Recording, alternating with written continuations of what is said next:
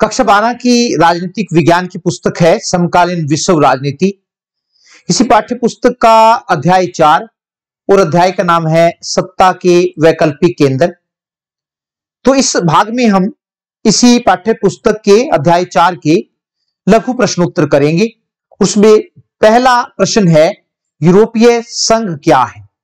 यूरोपीय संघ यूरोप के देशों का एक शक्तिशाली क्षेत्रीय संगठन है। जिसका उद्देश्य यूरोप के देशों के बीच बाधा रहित व्यापार को बढ़ावा देना है। प्रश्न नंबर दो है, यूरोपीय संघ की स्थापना कब हुई? तो यूरोपीय संघ की स्थापना उन्नीस सौ बानवे में हुई। प्रश्न नंबर तीन है, किस संगठन को यूरोपीय संघ की आधारशिला बुनियाद माना जाता है? तो यूरोपीय आर्थिक समुदाय, इसका सही उत्तर है, जिसको यूरोपीय संघ की आधारशिला माना जाता है। प्रश्न नंबर चार है, यूरोपीय आर्थिक समुदाय का गठन कब और क्यों हुआ था? यूरोपीय आर्थिक समुदाय का गठन कब और क्यों हुआ था? उन्नीस सौ सत्तावन में यूरोप के देशों के बीच बाधा रहित व्यापार को बढ़ावा देने के लिए। प्रश्न नंबर पाँच, यूरोपीय संघ की स्थापना करने के लिए मास्ट्रिस संधि पर कब हस्ताक्षर किए गए? यूरोपीय संघ की स्थापना करने के लिए मास्ट्रिस्ट संधि पर कब हस्ताक्षर हुए? फरवरी उन्नीस सौ बानवे में। एक और प्रश्न है, प्रश्न नंबर छह, यूरोपीय संघ की मुद्रा का नाम बताओ। तो यूरोपीय संघ की मुद्रा का नाम यूरो है। प्रश्न नंबर सात है, यूरो मुद्रा का चलन किस वर्ष से हुआ? तो सही उत्तर है इसका 2002 से। और प्रश्न नंबर आठ है, वर्तमान समय में यूरोपीय संघ के कितने सदस्य देश हैं? तो वर्तमान समय में 27 देश यूरोपीय संघ में शामिल है। प्रश्न नंबर नौ की अगर हम बात करें तो प्रश्न नंबर नौ है आशियान का पूरा नाम लिखो। इंपॉर्टेंट प्रश्न है तो सभी बच्चे ध्यान से देख ले। तो आशियान को जो पूरा नाम है, दक्षिण पूर्वी एशियाई राष्ट्रों का संघ association of south east Asian nation प्रश्न नंबर दस आशियान किन देशों का संगठन है? नाम से ही पता लग रहा है, दक्षिण पूर्वी एशियाई देशों का संगठन है। एक और इंपॉर्टेंट प्रश्न है आशियान की स्थापना कब हुई? 8 अगस्त उन्नीस में हुई। प्रश्न नंबर 12 है, वर्तमान समय में आशियान के सदस्य देशों की संख्या कितनी है? तो वर्तमान समय में आशियान में 12 देश हैं। प्रश्न नंबर 13 है आशियान के झंडे में धान की कितनी बालियों को दर्शाया गया है? आशियान के झंडे में धान की कितनी बालियों को दिखाया गया है? दस बालियाँ हैं उसमें, क्योंकि दस देश हैं तो दस बालियाँ हैं। प्रश्न नंबर चौदह है, चीन किस महाद्वीप में स्थित है? चीन एशिया महाद्वीप में स्थित है। प्रश्न नंबर पंद्रह जो है, जनसंख्या की दृष्टि से चीन का विश्व में कौन सा स्थान है?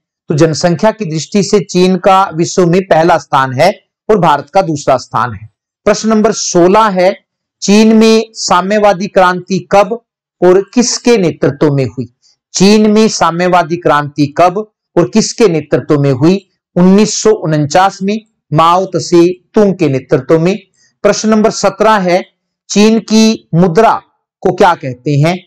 चीन की मुद्रा को क्या कहते हैं? तो उसको युआन कहते हैं, युआन।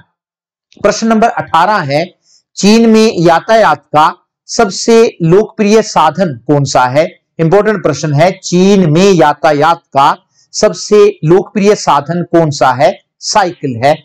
प्रश्न नंबर 19 की अगर हम बात करें तो प्रश्न नंबर 19 है, चीन ने अमेरिका के साथ कब संबंध स्थापित किए? उन्नीस सौ बहत्तर में 1972 में प्रश्न नंबर 20 है, चीन ने किस वर्ष खुले द्वार की नीति की घोषणा की? 1978 में इसका सही जवाब है। प्रश्न नंबर 21 है, चीन में कृषि का निजीकरण कब किया गया? तो चीन ने कृषि का जो निजीकरण किया, वो उन्नीस सौ बयासी में किया 1982 में। प्रश्न नंबर 22 है, चीन में उद्योगों का निजीकरण कब किया गया? उद्योगों का निजीकरण कब किया गया? उन्नीस सौ अठानवे में 1998 में किया गया। प्रश्न नंबर 23 की अगर हम बात करें, चीन विश्व व्यापार संगठन का सदस्य कब बना? 2001 में इसका सही जवाब है। प्रश्न नंबर 24 है, भारत और चीन के बीच सीमा रेखा का क्या नाम है? मैकमोहन लाइन उसको कहते हैं। प्रश्न नंबर 25 है, भारत और चीन के बीच पंचशील का समझौता कब हुआ? उन्नीस सौ चौवन में पंचशील का समझौता हुआ। प्रश्न नंबर 26 है, चीन ने भारत पर कब आक्रमण किया? एक आसान सा प्रश्न है, उन्नीस सौ बासठ में। और प्रश्न नंबर 27 है, जनसंख्या की दृष्टि से विश्व में भारत का कौन सा स्थान है? जनसंख्या की दृष्टि से विश्व में भारत का कौन सा स्थान है? दूसरा स्थान है। प्रश्न नंबर 28 है, जापान की अर्थव्यवस्था का विश्व में कौन सा स्थान है? जापान की अर्थव्यवस्था का विश्व में कौन सा स्थान है? दूसरा है, और प्रश्न नंबर उनतीस है, एशिया का रोगी किस देश को कहा जाता था? एशिया का रोगी किस देश को कहा जाता था? चीन को। प्रश्न नंबर तीस की अगर हम बात करें तो दो ध्रुवीय व्यवस्था के टूटने के बाद, दो ध्रुवीय व्यवस्था के टूटने के बाद अमेरिका का मुकाबला करने के लिए वैकल्पिक सत्ता के रूप में उभरे किन्हीं दो क्षेत्रीय संगठनों के नाम बताओ तो एक है उसमें यूरोपीय संघ और दूसरा है आसियान। और प्रश्न नंबर 31 है, भारत ने पूर्व की ओर देखो नीति कब अपनाई? भारत ने पूर्व की ओर देखो नीति कब अपनाई? उन्नीस सौ इक्यानवे में। धन्यवाद, नमस्कार।